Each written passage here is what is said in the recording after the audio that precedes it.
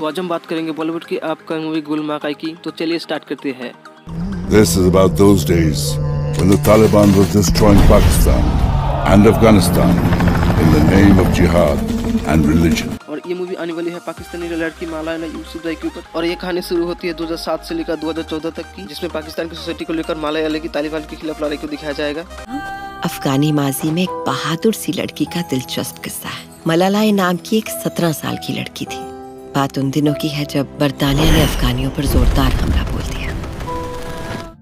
और मूवी की स्टोरी शुरू होती है जब तालिबानों ने लड़कियों के बाज़ार जाना, गाना सुनना एजुकेशन पूरी तरह से बंद कर दिया था और बहुत सारे स्कूल कॉलेज भी बंद कर दिया था। और मलायाला पूरी इन चीज़ों के खिलाफ थी और इन चीज़ों की परवाह करते हुए मलायाला ने बीबीसी नाम से एक उर्दू चैनल में उनकी समाज के प्रति भावनाओं को प्रसारित कर रहा था और साथ ही साथ मलायाला ने एक डायरी भी लिखता था। और इसीलिए तालिबानों ने सोशल मीडिया के ऊपर मलायाला को जान से मारने के लिए धमकी भी दे रहा था।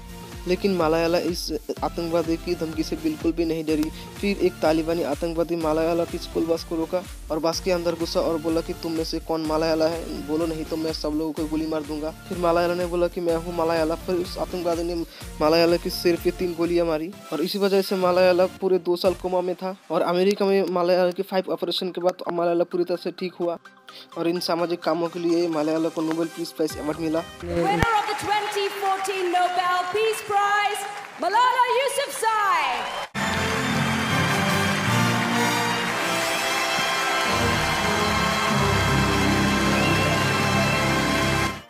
BBC नाम का वो उर्दू चैनल मालाया की ब्लॉग और उनकी डायरी को गुलमा के नाम से पब्लिश किया था क्योंकि इस मूवी इसी के ऊपर बनने वाली है इसलिए इस मूवी का नाम भी गुलमा के रखा गया मूवी का रिलीज़ अभी तक फाइनल नहीं हुआ है लेकिन मुझे उम्मीद है टू बॉलीवुड की आप इस मूवीज़ के अपडेट पाने के लिए सब्सक्राइब करिए मेरे चैनल पर वीडियो अच्छी लगे तो वीडियो को लाइक करिए। Thanks for watching this video